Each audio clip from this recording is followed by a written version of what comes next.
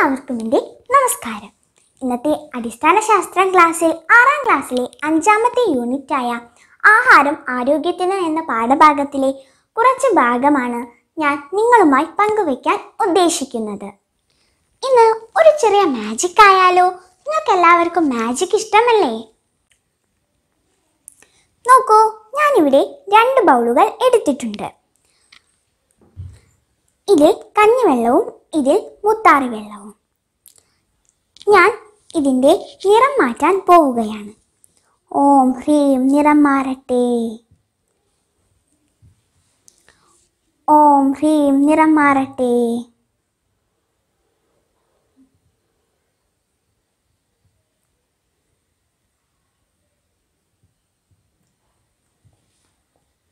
നോക്കൂ ഈ രണ്ട് ബൗളിലും കടും നീല നിറം പ്രത്യക്ഷപ്പെട്ടു കഴിഞ്ഞു. എങ്കിൽ പറയൂ എന്താണ് ഇതിനു പിന്നിലെ ശാസ്ത്രതത്വം? നിറം ചേർത്തെന്നു അല്ല. പിന്നെ ഞാൻ നിങ്ങൾക്ക് ചില സൂചനകൾ നൽകാം. കഞ്ഞിവെള്ളത്തിലും മുത്താറി വെള്ളത്തിലും അടങ്ങിയിരിക്കുന്ന പൊതുവായ ഒരു ഘടകമായിരിക്കില്ലേ ഈ നിറവ്യത്യാസത്തിനു കാരണം? എങ്കിലത് എന്തായിരിക്കും? Okay very good. ആരോ പറഞ്ഞല്ലോ അന്നജം. അതെ നാം കഴിക്കുന്ന ആഹാര സാധനങ്ങളിലെ ഒരു പ്രധാന പോഷക ഘടകമാണ് അന്നജം. എന്തിനു വേണ്ടിയാണ് നാം ഭക്ഷണം കഴിക്കുന്നതെന്ന് നിങ്ങൾക്ക് എല്ലാവർക്കും അറിയാമല്ലോ. വളരാൻ പ്രവൃത്തി ചെയ്യാനും കളിക്കാനുമുള്ള ഊർജം ലഭിക്കുന്നതിന് രോഗപ്രതിരോധ ശേഷി ലഭിക്കുന്നതിന് ആരോഗ്യം പ്രദാനം ചെയ്യുന്നതിന് ശരീരാവയവങ്ങളുടെ ശരിയായ പ്രവർത്തനത്തിന്. ആഹാരം കഴിക്കുന്നത് കൊണ്ടുള്ള പ്രയോജനം ഒന്നുകൂടി നോക്കാം. വളരാൻ പ്രവൃത്തി ചെയ്യാനും കളിക്കാനുമുള്ള ഊർജം ലഭിക്കുന്നതിന് രോഗപ്രതിരോധ ശേഷി ലഭിക്കുന്നതിന് ആരോഗ്യം പ്രദാനം ചെയ്യുന്നതിന് ശരീരാവയവങ്ങളുടെ ശരിയായ പ്രവർത്തനത്തിന്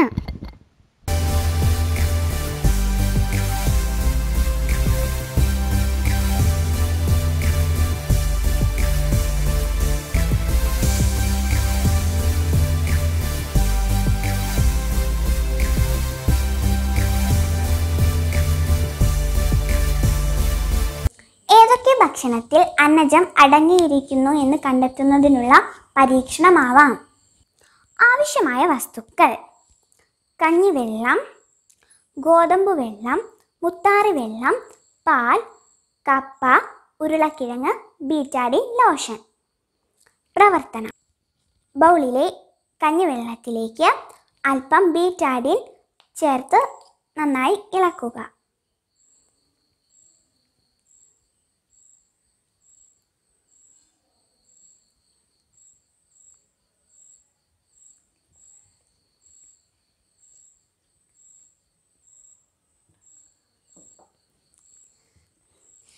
ഇപ്പോൾ നീല നിറം. കാണുന്നില്ലേ? ഗോതമ്പ് വെള്ളത്തിലും ഇതുപോലെ ബീറ്റാഡിൻ ചേർത്ത് ഇളക്കി നോക്കാം.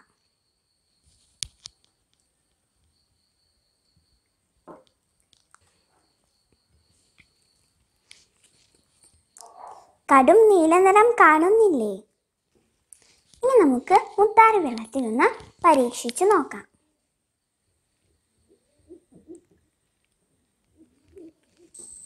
നോക്കൂ കടും നീല നിറം കാണുന്നില്ലേ?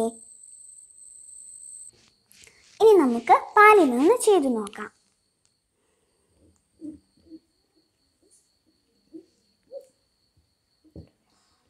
ഒരു നിറമാറ്റവും കാണുന്നില്ലല്ലോ. ഇനി നമുക്ക് കപ്പയിൽ ചെയ്തു നോക്കാം. ഇവിടെയും നീലനിറം കാണുന്നുണ്ടല്ലോ. ഇനി ഉരുളക്കിഴങ്ങിൽ കൂടി പരീക്ഷണം ആവർത്തിക്കാം.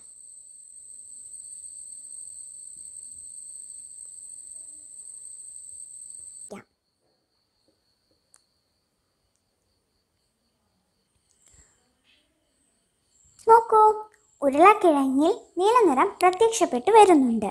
ഇതിൽ നിന്നും നമുക്ക് എന്താണ് മനസ്സിലാക്കാൻ കഴിയുന്നത്? കഞ്ഞിവെള്ളത്തിലും മുത്താറിയിലും ഗോതമ്പ് വെള്ളത്തിലും കപ്പയിലും തൈലും അന്നജം അടങ്ങിയിട്ടുണ്ട്. പക്ഷേ പാലിൽ അന്നജം അടങ്ങിയിട്ടില്ല. കൂട്ടുകാരെ ഈ ഒരു പരീക്ഷണം അയഡിൻ ടെസ്റ്റ് എന്നാണ് അറിയപ്പെടുന്നത്. അതായത് ആഹാര പദാർത്ഥങ്ങളിൽ അന്നജത്തിന്റെ സാന്നിധ്യം തിരിച്ചറിയാനുള്ള പരീക്ഷണം. ഈ പരീക്ഷണം അയഡിൻ ലൈൻ ഉപയോഗിച്ചും ചെയ്യാവുന്നതാണ്. ബീറ്റാഡിൻ ഉപയോഗിച്ചത് അതിൽ അയഡിൻ പ്രധാനമായും അടങ്ങിയിട്ടുള്ളതുകൊണ്ടാണ്. പരീക്ഷണത്തിന്റെ അടിസ്ഥാനത്തിൽ ആഹാര സാധനങ്ങൾക്ക് സംഭവിച്ച നിറവ്യത്യാസം നോക്കി. അന്നജമടങ്ങിയ ഭക്ഷ്യവസ്തുക്കളെ പട്ടികപ്പെടുത്തി ശാസ്ത്രപുസ്തകത്തിൽ രേഖപ്പെടുത്തുമല്ലോ? അന്നജം അടങ്ങിയിരിക്കുന്ന ഭക്ഷ്യവസ്തുക്കളിൽ ഏതൊക്കെ ഉൾപ്പെടുത്താം? അരി ഗോതമ്പ് മുത്താറി കപ്പ ഉരുളക്കിഴങ്ങ്. അന്നജം അടങ്ങിയിട്ടില്ലാത്തവയിൽ ഏതൊക്കെ ഉൾപ്പെടുത്താം? പാൽ മുട്ട. ധാന്യകം അഥവാ കാർബോഹൈഡ്രേറ്റ് എന്ന പോഷക ഘടകത്തിലെ ഒരു രൂപഭേദമാണ് അന്നജം. ധാന്യകം എന്ന് കേൾക്കുമ്പോൾ ധാന്യം മാത്രം ഓർമ്മ വന്നാൽ പോരാ.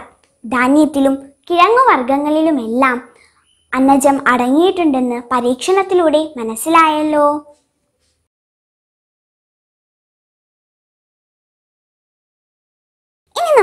ധാന്യകം അഥവാ കാർബോഹൈഡ്രേറ്റ് അടങ്ങിയ ഭക്ഷ്യവസ്തുക്കൾ കഴിക്കുന്നത് കൊണ്ടുള്ള നേട്ടവും അവയുടെ പ്രത്യേകതയും എന്താണെന്ന് നോക്കാം. ശരീരപ്രവർത്തനങ്ങൾക്ക് ആവശ്യമായ ഊർജം നൽകുക എന്നതാണ് ഇതിന്റെ പ്രധാന ധർമ്മം. കാർബൺ ഹൈഡ്രജൻ ഓക്സിജൻ എന്നിവ കൊണ്ടാണ് ധാന്യകം നിർമ്മിച്ചിരിക്കുന്നത്. അന്നജം പഞ്ചസാര ഗ്ലൂക്കോസ് സെല്ലുലോസ് എന്നിവ ധാന്യങ്ങളുടെ വിവിധ രൂപങ്ങളാണ്.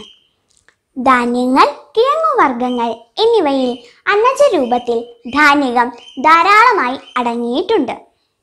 അപ്പോൾ പറയൂ ധാന്യകം അഥവാ കാർബോഹൈഡ്രേറ്റിന്റെ പ്രധാന ധർമ്മം എന്തായിരുന്നു? അതെ മിടുക്കൻ. ശരീരപ്രവർത്തനങ്ങൾക്ക് ആവശ്യമായ ഊർജം നൽകുക എന്നതാണ് ഇതിന്റെ ധർമ്മം.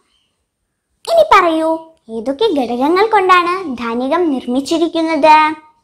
അതെ very good carbon hydrogen oxygen എന്നിവ കൊണ്ടാണ് ധാന്യകം നിർമ്മിച്ചിരിക്കുന്നത്. ഇനി പറയൂ ഏതൊക്കെയാണ് ധാന്യകങ്ങളുടെ വിവിധ രൂപങ്ങൾ? അതെ മിടുക്കി. അന്നജം പഞ്ചസാര ഗ്ലൂക്കോസ് സെല്ലുലോസ് എന്നിവയാണ് ധാന്യകങ്ങളുടെ വിവിധ രൂപങ്ങൾ. രൂപത്തിൽ ധാന്യകം അടങ്ങിയിരിക്കുന്ന ഭക്ഷ്യവസ്തുക്കൾ ഏതൊക്കെയാണ്? അതെ ധാന്യങ്ങൾ കിഴങ്ങുവർഗങ്ങൾ ധാന്യകം അഥവാ കാർബോഹൈഡ്രേറ്റ് എന്ന പോഷക ഘടകത്തിന്റെ പ്രത്യേകത ഒന്നുകൂടി ഓർത്തു നോക്കിയാലോ. ശരീര പ്രവർത്തനങ്ങൾക്ക് ആവശ്യമായ ഊർജം നൽകുക എന്നതാണ് ഇതിന്റെ ധർമ്മം. കാർബൺ ഹൈഡ്രജൻ ഓക്സിജൻ എന്നിവ കൊണ്ടാണ് ധാന്യകം നിർമ്മിച്ചിരിക്കുന്നത്.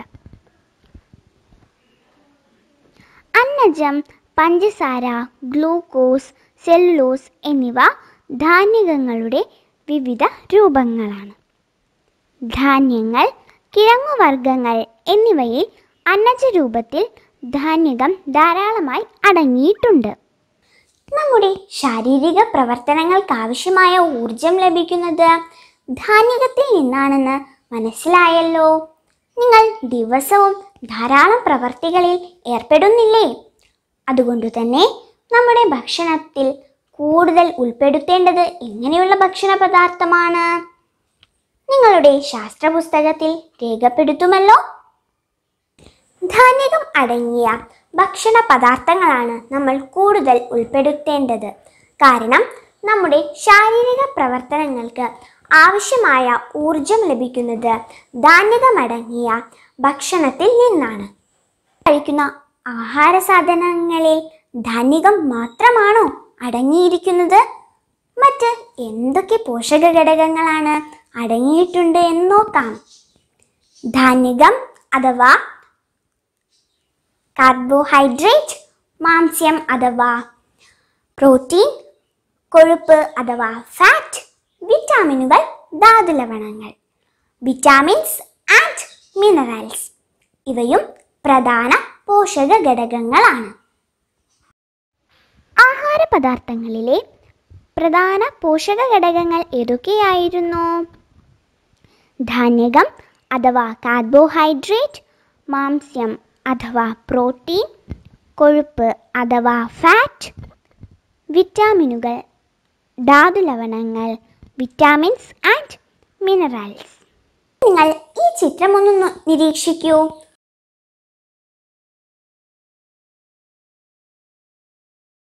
എന്താണ് മനസ്സിലാക്കാൻ കഴിയുന്നത്? കുട്ടിയുടെ വളർച്ച ശരിയായ തോതിൽ നടന്നിട്ടുണ്ടോ? ഇല്ല. എങ്കിൽ എന്തായിരിക്കും കാരണം? അതെ വളർച്ചയെ സഹായിക്കുന്ന പോഷക ഘടകം മതിയായ അളവിൽ ലഭിച്ചിട്ടുണ്ടാകില്ല. വളർച്ചയെ സഹായിക്കുന്ന പോഷക ഘടകമായ മാംസ്യം അഥവാ പ്രോട്ടീന്റെ അഭാവമാണ് ക്വാഷിയോക്കർ എന്ന ഈ രോഗത്തിന് കാരണം. ഇത് ബാധിച്ചവരുടെ ശരീരം ശോഷിച്ചും വയർ വീർത്തും ഇരിക്കും. ഓർക്കുക ഇത് ഒരു പകർച്ചവ്യാധിയല്ല മറിച്ച് ഒരു അപര്യാപ്തത രോഗമാണ്. നാം പരിചയപ്പെടാൻ പോകുന്ന മറ്റൊരു പ്രധാന പോഷക ഘടകമാണ് മാംസ്യം അഥവാ പ്രോട്ടീൻ. ഇതിന്റെ പ്രത്യേകതകൾ എന്തൊക്കെയെന്ന് നോക്കാം. ശരീര വളർച്ചയ്ക്ക് സഹായിക്കുന്ന പ്രധാന പോഷക ഘടകം. കോശങ്ങൾ മുടി ദഹനരസം തുടങ്ങിയവയുടെ നിർമ്മാണത്തിന് അത്യാവശ്യമാണ്. ധാന്യങ്ങളുടെ അഭാവത്തിൽ ഊർജ ഉൽപാദനത്തിന് പ്രോട്ടീൻ പ്രയോജനപ്പെടുത്താം. Hydrogen carbon oxygen nitrogen sulphur എന്നിവയാണ് പ്രോട്ടീനിൽ അടങ്ങിയിരിക്കുന്നത്. മാംസ്യം അഥവാ പ്രോട്ടീനിന്റെ പ്രത്യേകത മറക്കരുതേ. ശരീര വളർച്ചയ്ക്ക് സഹായിക്കുന്ന പ്രധാന പോഷക ഘടകം കോശങ്ങൾ മുടി ദഹനരസം തുടങ്ങിയവയുടെ നിർമ്മാണത്തിന് അത്യാവശ്യമാണ്. ധാന്യകങ്ങളുടെ അഭാവത്തിൽ ഊർജ ഉത്പാദനത്തിന് പ്രോട്ടീൻ പ്രയോജനപ്പെടുത്താം. Hydrogen carbon oxygen nitrogen sulphur എന്നിവയാണ് പ്രോട്ടീനിൽ അടങ്ങിയിരിക്കുന്നത്. നമ്മുടെ ശരീരഭാരത്തിനനുസരിച്ച് ഒരു ഒരു കിലോഗ്രാമിന് ഒരു ഗ്രാം എന്ന തോതിൽ മാംസ്യം ആവശ്യമാണ്. പ്രോട്ടീൻ കുറയുന്നത് വളർച്ച മുരടിക്കുന്നതിന് കാരണമാകും. അടുത്തതായി നമുക്ക് ഈ ഒരു പട്ടിക പരിശോധിക്കാം. നൂറ് ഗ്രാം ഭക്ഷ്യവസ്തുക്കളിൽ അടങ്ങിയിരിക്കുന്ന പ്രോട്ടീനിന്റെ അളവാണ് ഇവിടെ നൽകിയിരിക്കുന്നത്. പട്ടിക നോക്കി. മാംസ്യം അഥവാ പ്രോട്ടീൻ കൂടുതൽ അടങ്ങിയിരിക്കുന്ന ഭക്ഷണ സാധനങ്ങൾ കണ്ടെത്തൂ. അതെ ചെറുപയർ ആട്ടിറച്ചി താറാവിറച്ചി കശുവണ്ടി എന്നിവയിലെല്ലാം ധാരാളം മാംസ്യം അടങ്ങിയിട്ടുണ്ട് എന്ന് മനസ്സിലായല്ലോ. ഇനി നിങ്ങൾക്ക് നിങ്ങളുടെ ഭാരത്തിനനുസരിച്ച് മാംസ്യം നിങ്ങൾ കഴിക്കുന്ന ഭക്ഷണത്തിൽ നിന്ന് ലഭിക്കുന്നുണ്ടോ എന്ന് പരിശോധിക്കാമല്ലോ. ഒരു ചോദ്യം കൂടി. സ്കൂൾ ഉച്ചഭക്ഷണത്തിൽ ചെറുപയർ നൽകുന്നത് കൊണ്ടുള്ള നേട്ടം എന്തായിരിക്കും? അത് നിങ്ങളുടെ ശാസ്ത്ര പുസ്തകത്തിൽ രേഖപ്പെടുത്താമല്ലോ. മാംസ്യം അഥവാ പ്രോട്ടീൻ ചെറുപയറിൽ ധാരാളമായി അടങ്ങിയിട്ടുണ്ട്. കുട്ടികൾക്ക് ഭക്ഷണത്തിൽ ഇവ ഉൾപ്പെടുത്തുക വഴി നമ്മുടെ ശരീരത്തിന് ആവശ്യമായ വളർച്ച ലഭ്യമാക്കാൻ കഴിയും. വസ്തുക്കളിൽ പ്രോട്ടീൻ സാന്നിധ്യം കണ്ടെത്തുന്ന പരീക്ഷണം. ആവശ്യമായ വസ്തുക്കൾ തുരിശ് അഥവാ കോപ്പർ സൾഫേറ്റ് ജലം സോഡിയം ഹൈഡ്രോക്സൈഡ് ഡ്രോപ്പ് ബീക്കർ കോഴിമുട്ടയുടെ വെള്ളക്കരു ടെസ്റ്റ് ട്യൂബ് പ്രവർത്തനം. കോഴിമുട്ടയുടെ വെള്ളക്കരു അല്പം വെള്ളം ചേർത്ത് ഇളക്കുക. ഇത് ഒരു ടെസ്റ്റ് ട്യൂബിൽ കാൽ ഭാഗം എടുക്കുക. അതിലേക്ക് ഒരു ശതമാനം വീര്യമുള്ള സോഡിയം ഹൈഡ്രോക്സൈഡ് ലായനി എട്ടോ പത്തോ തുള്ളി ചേർക്കുക. ഇളക്കിയ ശേഷം അതിലേക്ക് ഒരു ശതമാനം വീര്യമുള്ള കോപ്പർ സൾഫേറ്റ് ലായനി രണ്ട് തുള്ളി ചേർക്കുക. വയലറ്റ് നിറം കാണുന്നുണ്ടോ എന്ന് നോക്കി. അതിൽ പ്രോട്ടീനിന്റെ സാന്നിധ്യമുണ്ടെന്ന് ഉറപ്പുവരുത്താം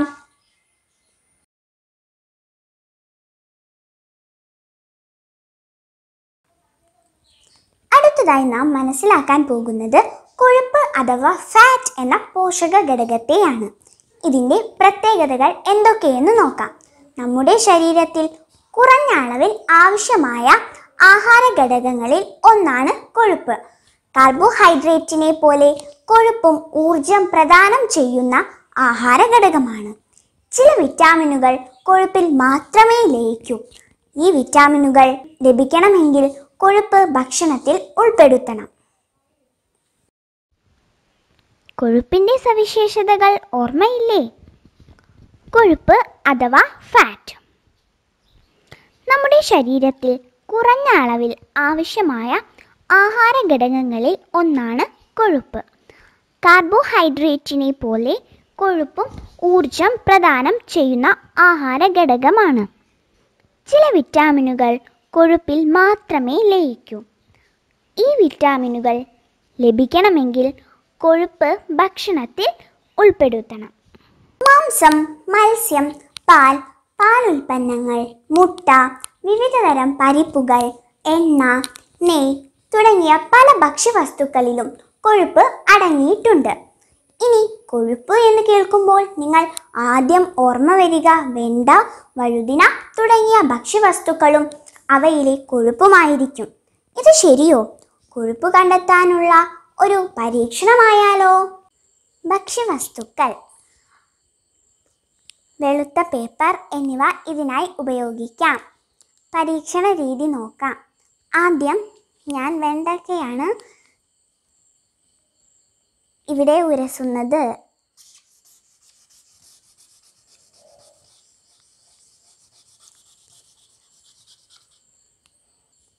ഇനി വെളിച്ചെണ്ണ.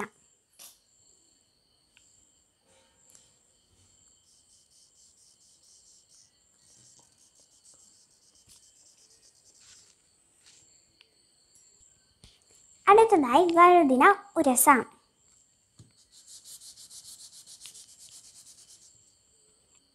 ഇനി നേ ഉരസി നോക്കാം.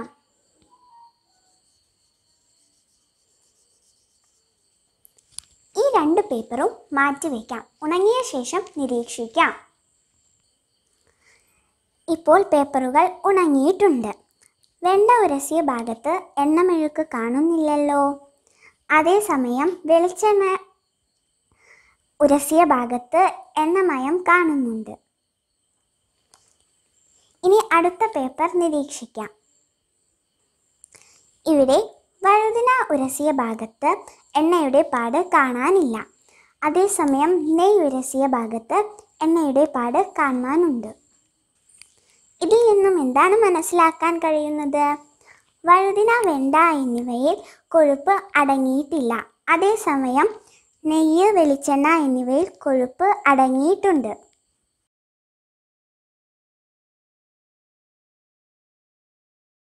കൊഴുപ്പും കൊളസ്ട്രോളും. നമ്മുടെ ശരീരത്തിൽ വളരെ കുറച്ച് മാത്രം ആവശ്യമുള്ള ഒരു പോഷക ഘടകമാണ് കൊഴുപ്പ് എന്നത്. ഇത് അധികമായാൽ എന്ത് സംഭവിക്കുമെന്ന് നോക്കാം. കൊഴുപ്പിന്റെ ഒരു രൂപമാണ് കൊളസ്ട്രോൾ. ഭക്ഷണത്തിൽ നിന്നും ലഭിക്കുന്നത് കൂടാതെ ശരീരം സ്വയം കൊളസ്ട്രോൾ നിർമ്മിക്കുന്നുമുണ്ട്. അതുകൊണ്ട് തന്നെ കൊളസ്ട്രോൾ അധികമായാൽ അത് രക്തക്കുഴലുകളുടെ ഉൾഭിത്തിയിൽ പറ്റിപ്പിടിച്ച് രക്തത്തിന്റെ ഒഴുക്ക് തടസ്സപ്പെടുത്തുന്നു. അതുകൊണ്ട് കൊഴുപ്പ് അടങ്ങിയ ഭക്ഷണം കൂടുതൽ കഴിക്കുന്നത് നല്ലതല്ല. വറുത്തതും എണ്ണ കലർന്നതുമായ ആഹാര സാധനങ്ങൾ കൂടുതൽ കഴിക്കുന്ന കൂട്ടത്തിലാണോ നിങ്ങൾ? ഇത് കൂടുതൽ കഴിക്കുമ്പോൾ എന്ത് ആരോഗ്യ പ്രശ്നമാണ് ഉണ്ടാകുന്നത് എന്ന് മനസ്സിലായല്ലോ. കൊളസ്ട്രോളിന്റെ അളവ് നിയന്ത്രിച്ചു നിർത്താൻ നാം സ്വീകരിക്കേണ്ടുന്ന ആഹാര രീതി എന്താണ്? ശാസ്ത്ര പുസ്തകത്തിൽ കുറിക്കൂ. വറുത്തതും എണ്ണമയമുള്ളതുമായ ആഹാരങ്ങൾ പരമാവധി കുറയ്ക്കുക. പച്ചക്കറികൾ പഴവർഗങ്ങൾ ധാന്യങ്ങൾ എന്നിവ ഭക്ഷണത്തിൽ ഉൾപ്പെടുത്തുക. ബേക്കറികൾ പരമാവധി ഒഴിവാക്കുക.